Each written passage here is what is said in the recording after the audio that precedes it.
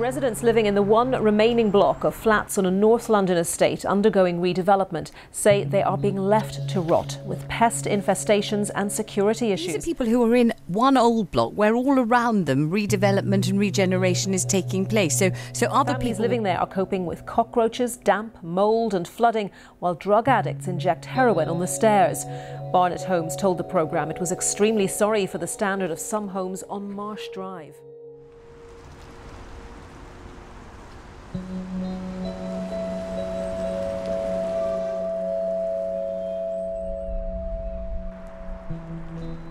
When I was here last time, you were all facing being stuck here until 2022 and the block was going to be knocked down.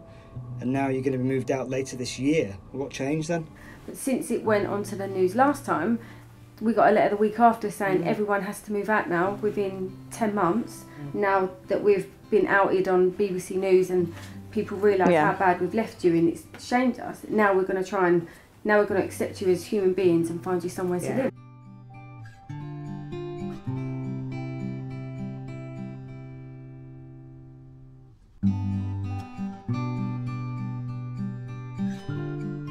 Depends what category you fit in, whether they're going to house you, not house you, give you back onto a regeneration estate, which is just as bad as the one that we live in at the moment.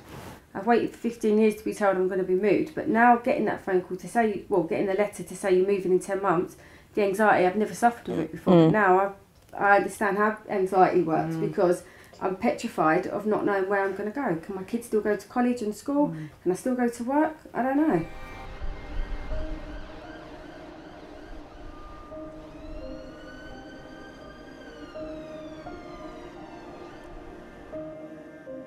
Aside from the vermin and the mould and all those sort of harsh living conditions, we've now got to think about living in a in what's possibly a death trap.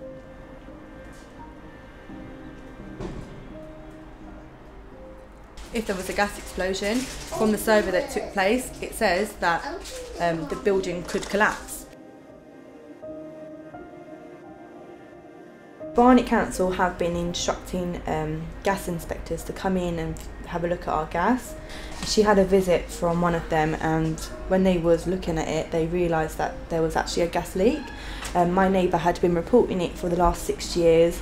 Um, apparently, people have come round and checked it and said it's been fine, but she keeps smelling the smell of gas. The gas was here, and I've been told that I was in danger. The whole, the whole building would have been collapsed And Why would the building have collapsed? What, what because the gas was really showing that it was really leaking a lot, and I was smoking closer to it, which it could have catched fire quickly, easily. Which is really scary, actually. Who's to blame then for putting tenants in danger? You know, some people might say that she shouldn't have been smoking in the kitchen if there's a gas leak.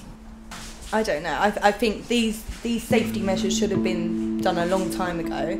We shouldn't even be living like this. We shouldn't be living in this way. And every time I've said to them, I'm scared. I'm having nightmares. You know, I worry. It's because it's, it does not my flat. I can try and protect my flat as much as I can. But you know, other people, they might not even be there, and they might be having a gas explosion, and the same thing can happen to all of us. And then with us, it's the same. We're not supposed to have gas. Barnet knew. Barnet have known. And if you've got somebody saying, oh, we've had a gas leak for six years, and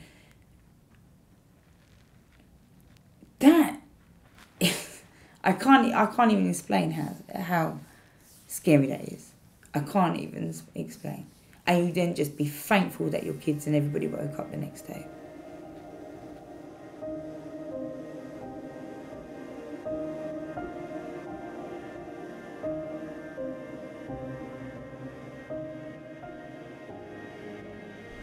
Has anything improved? The communication, I would say, we're now inundated with letters from Barnet Homes. you know, we're still living here, we still have to live with the gas we still have to live here with the pests, the cockroaches, the rats, the mice, mould. Yeah, everything. being broken into. When did these appear then? Um, they've been there about, I'd say about three weeks.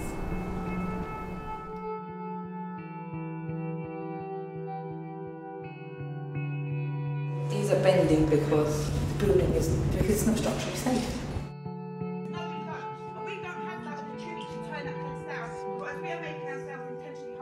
If you bothered, come round to the Marsh Drive and actually speak to the residents or go to speak to people in Grahame Park, you will understand what they know. You cannot turn around and say to me, Power to you, sister. Power to you. Having been elected locally for 18 years, I've certainly have been around Marsh Drive and Grahame Park Estate more, more than you have. More than you have.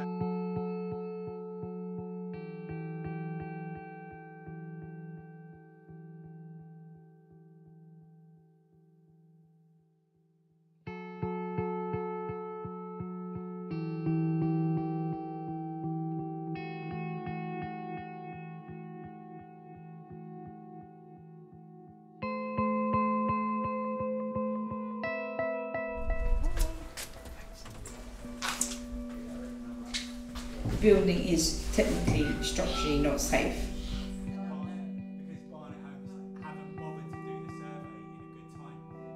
And that's why everybody's got to move that of Marsh Drive. Yeah. Yeah.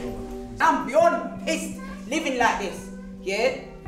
Beyond it. I love you. Right? And if you don't do it for yourself, do it for your neighbour, do it for your children, do it for whatever. You're blown by hearing Sorry, babe. That's true. No, you can